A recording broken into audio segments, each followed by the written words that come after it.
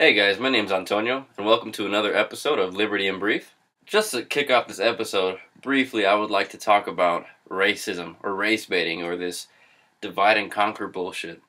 When it comes down to it, racism is really, I, I guess you could say, a dead horse. It's just this, we keep beating this dead horse over and over again. It, it's it's it's a dead scene. I wish we could really get past this and get over this.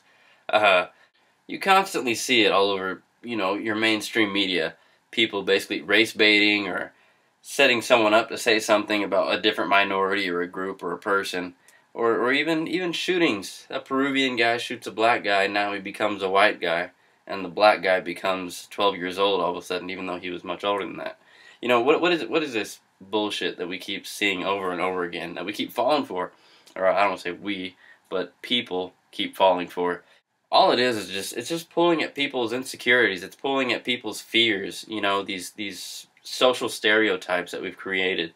Um, and and it's it's it's a, it's a game. It's just it's racism is a game anymore.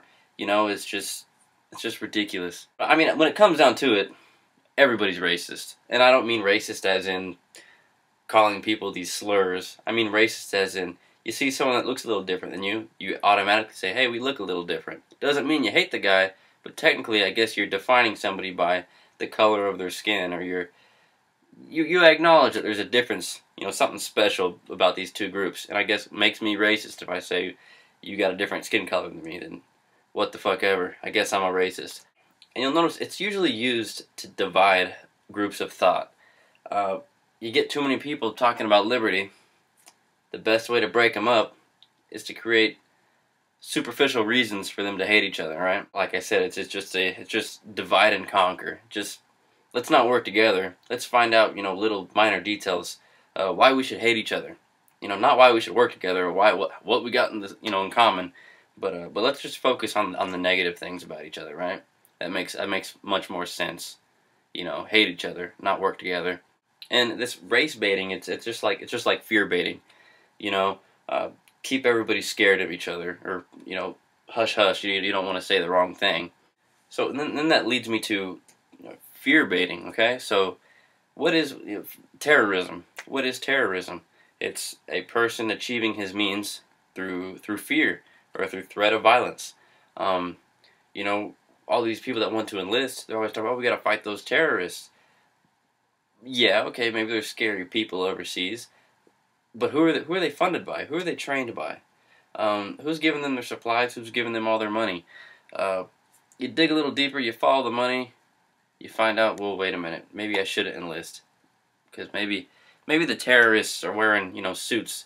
They got little donkey uh, pins on their shirt. They got little uh, elephant. You know, you got an ass and an elephant. So, so why is it that we keep falling for this as well? It's another another fucking stupid ass game that we keep falling for. Uh, we got Al Qaeda, we got the Taliban, now we have ISIS. It's the same story every time. We give these guys guns, we give them money, we train them, and then we go to war with them.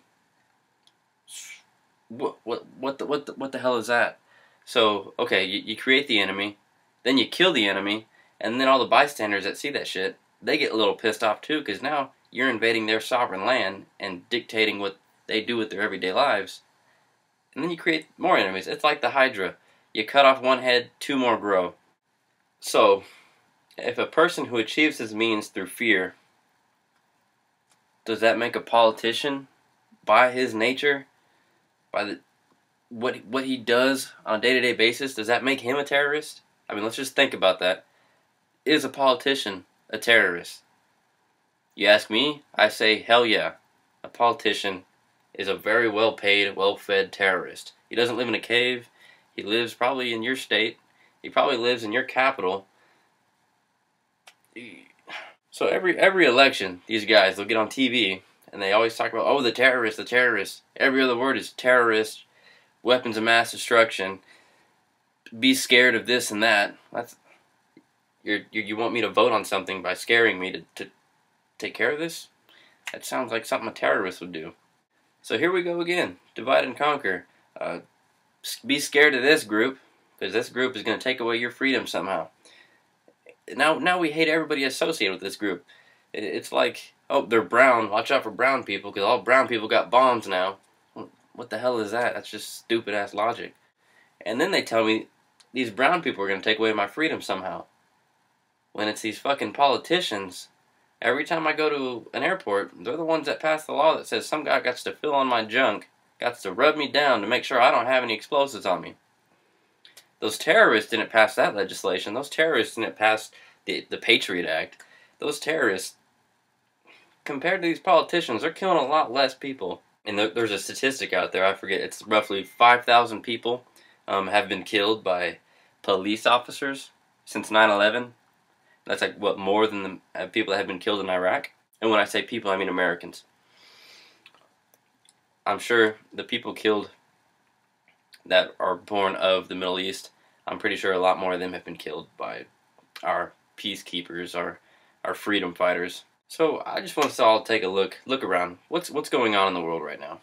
We got these Middle Eastern conflicts just don't seem to end, but yet we feel like we always have to send more troops. Send 275 more. That's the that's the lucky number these days. You send 275 more boots over there. That'll that'll that'll that'll end this conflict because you know thousands of dead soldiers wasn't enough. You just need a couple more. I with with Israel and their little strategic bombing of Syria. Who saw that coming? It seems like Israel likes to play the innocent, I don't know, just the innocent bystander, you know? I, I had to bomb them because, you know, they said, they were saying mean things to me. Or, you know, some, some fucking conflict, you know? So it's always something. And it's funny that Israel trains them, funds them, and then kills them. We train them, fund them, then kill them. And then we say, hey, Saudi Arabia, get all those crazy guys and we'll train them, fund them, and then we'll go to war and kill them. Sounds like a good idea, right? We all, you know, we, we don't make money. We don't make shit off of this. We, we, we and die for them. But but these these higher ups, they're, they're they're making bank off of this, and we keep falling for it. Wake wake the fuck up.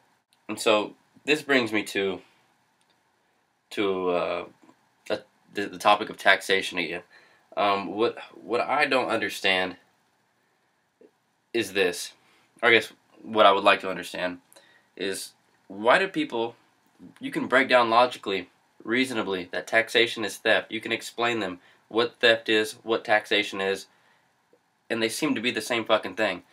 But people will deny that. They'll say, you know, religiously, I understand, okay, I used to be a religious person, so if something goes against your faith, you, you tend to up, you know, put your blinders up. You don't want to hear it, and so you you know you'll, you'll say, ah, that's not true, or you know, that's that's bullshit.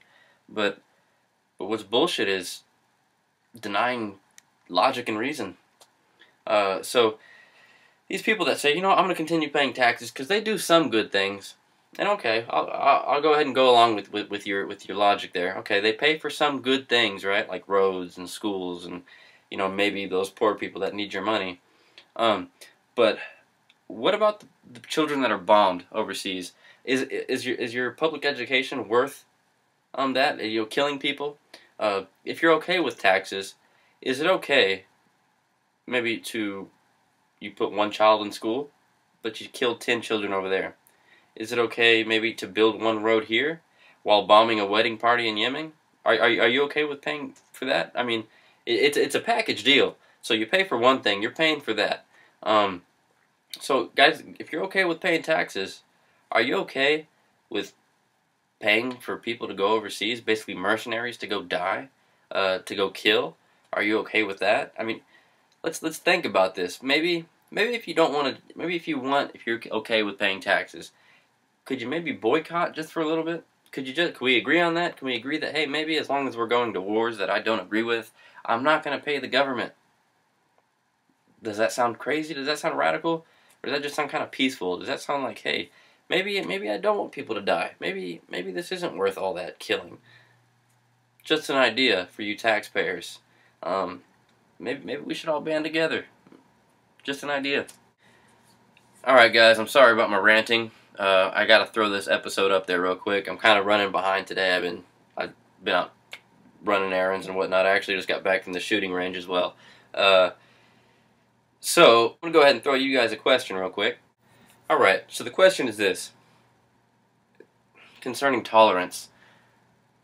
Not about race, you know, not about creed, not about where you're from, but tolerance of people that don't seem to tolerate the non-aggression principle.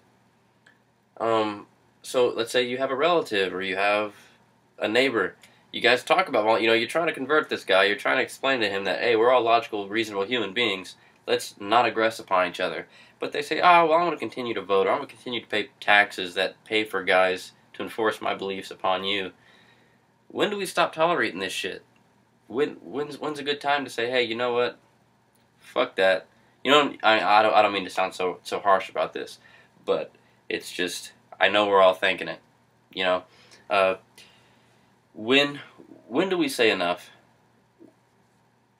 Uh, then again, I don't want to sound like some crazy ass radical. Um, what I, what I'm just trying to say is, can people start to tolerate that I want peace, that I want to live a non-aggressive lifestyle, that I I don't want people aggressing upon me either, um, and I want to hold these people accountable that are initiating violence upon other human beings. Uh, is that is that reasonable? Is that okay? Because I'm getting tired of this. Anyway, that's my question, guys. Uh, go ahead in the comments, shoot a message, whatever you want to do. Uh, roll it in your head. That's the question for you guys. Uh, another thing, this whole immigration crap. There's a, there's a lot of hype right now about Mexican American immigration. Uh, again, it's basically a bunch of Republicans that are saying, "Hey, we don't agree with these socialized programs that we have, but uh, but all those Mexicans, those damn illegal immigrants, they're stealing all our socialized programs that apparently Republicans aren't for anyway." But you know, you know, the, these Republicans they claim to be free market advocates, but really they want their socialized military, they want their socialized health care. So it's a bunch of fucking hypocrisy on both sides. Uh, Democrats and Republicans, you guys are both way too socialist for me. Uh, I want to be free. So uh, I'm going to sign off for uh, Liberty in Brief. Thanks for watching again, guys. It's a little bit of a short episode. I apologize. All my episodes have been kind of short. Uh, my time management has been kind of crappy lately. But uh, this one's just a bit of a rant. Uh, I got some stuff to do later on today, so I'm trying to hurry up and get this on the air for you guys before before I'm too late. And by the way, thanks Michael Shanklin for the T-shirt. I love it. And if you guys want to live free, live borderless, want to learn how, go ahead and Google voluntaryism. Alrighty guys, take it easy.